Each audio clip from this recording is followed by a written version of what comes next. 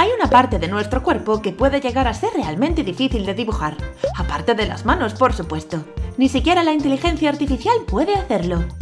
Así que hoy veremos en este vídeo cómo dibujar las orejas, analizaremos su anatomía y por último cómo estilizarla y adaptarla a nuestro propio estilo de dibujo. Primero que todo debemos abordar ese tema que intentamos evitar a toda costa. La anatomía. Te prometo que será una clase inferior a un minuto y no supondrá ninguna tortura. A ver, a ver, que esta estructura tan complicada que tenemos en la oreja no es en vano. Las orejas están diseñadas para recoger los sonidos y redirigirlos al interior del oído. Esta estructura helicoidal permite canalizar mucho mejor los ruidos que vienen de frente, por ejemplo. Si no existiera, apenas escucharíamos a una persona que nos habla de frente. La vibración pasaría de largo, la vibración rebotaría en nuestra cabeza y volvería al locutor, o directamente rodearía nuestra cabeza y pasaría de largo. Así que creo que se merece que al menos le dediquemos un poquito a entender esta estructura helicoidal también diseñada de nuestras orejas. Cuando empezamos a dibujar la oreja, la primera parte que dibujamos es la hélice o hélix, que es el borde externo doblado de la oreja. Esta termina en el lóbulo, la parte blandita de la oreja. A esta tapita de aquí, que presionamos cuando nos tapamos los oídos, se le llama trago. También os digo que estoy profundamente desilusionada porque no le hayan llamado tapa. Por otra parte, tenemos la antihélice, una estructura debajo del hélix con forma de Y. Esta suele ser la parte que nos cuesta un poquito. Por último, solo nos queda esta parte, el antitrago o antitapa. Este espacio que queda aquí es la concha, la antesala antes del canal auditivo. Hasta aquí es sencillo, ¿verdad? Ahora que ya conocemos su estructura, vamos a dibujarlas. Ten a mano lápiz y papel, porque vamos con la clase práctica. Voy a dejar un par de referencias de orejas reales. ¿Ves que cada oreja es diferente, pero más o menos todas siguen un mismo patrón? Recomiendo que para dibujar las orejas empieces haciendo el contorno, la hélice y el lóbulo. Marca el interior de la hélice desde dentro, así te ayudará a marcar dónde irá el trago, la tapita del oído. Cuando dibujemos el antihélix, la parte de dentro con forma de Y, fíjate que está perfectamente conectada con el antitrago, y así forma el hueco de la concha, la antesala del canal auditivo. Si aún no te ha quedado clara esta parte, quédate aquí y practica un poco más antes de continuar.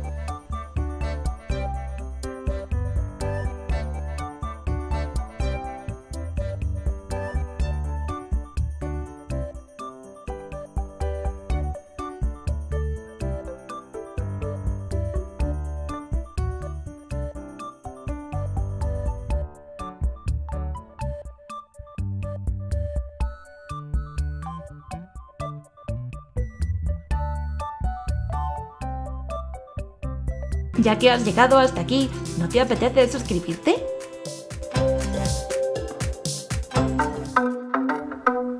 Ahora veamos cómo se colocan las orejas. Vais a ver cómo estas van a ayudarnos aún por encima a conseguir mejorar la perspectiva cuando dibujemos rostros. Lo que nos va a ayudar a definir la posición de las orejas son las cejas y la nariz. Por ejemplo, cuando nuestro personaje mira hacia arriba, solemos dejar las orejas colocadas en el mismo sitio, como si éstas fueran el eje de la rotación de la cabeza. Pero si bajamos las orejas como les corresponde, verás cómo se potencia la perspectiva. Vamos a hacer otra pequeña práctica. Dibujaremos las orejas en diferentes posiciones. Os voy a dejar esta pequeña guía con formas simplificadas de la oreja. Ahora, debajo de cada figura, voy a practicar la oreja según lo que hemos visto anteriormente. Si la dibujamos de frente, haremos una hélice y un lóbulo un pelín más estrechos. Lo que debemos de tener en cuenta aquí es que el antihélix, la Y, tiene volumen, y este posiblemente sobresalga por fuera de la hélice. La oreja en tres cuartos o de frente la dibujo prácticamente igual.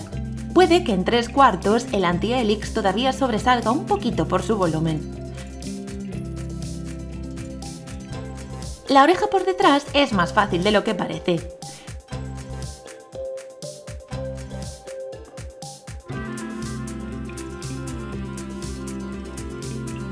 Si colocas tu dedo índice y el pulgar por detrás de tus orejas en la unión con tu cabeza, verás que esta parte dura y ovalada corresponderá con este semicilindro que marcamos aquí. Si esta parte se te complica, quédate aquí a practicar un poco más. Lo bueno es que para esto puedes usar un espejo y mirar cómo tus propias orejas cambian en diferentes perspectivas. Bien, hemos llegado a la parte más sencilla, estilizar la oreja. Y como los ojos en cada estilo de dibujo, la oreja también cambia. Y por supuesto, es mucho más fácil de hacer. En mi caso me gusta marcar el interior de la hélice y el lóbulo. Pero ahora que conoces toda la estructura de la oreja, puedes experimentar cualquier forma, eliminando unas u otras. Aprendes viendo, pero aprendes mucho más haciéndolo. Así que saca capturas de las partes que te interesan, vuelve a ver el vídeo si lo necesitas y sobre todo practica dibujando los ejercicios que he puesto. Verás cómo aprendes un montón. ¿Qué te parece? Si crees que este vídeo te ha resultado útil, no olvides dejarme un like o compartir el vídeo, me ayudarías un montón. Déjame en comentarios qué otros aspectos te gustaría que estudiáramos. ¡Nos vemos! ¡Chao!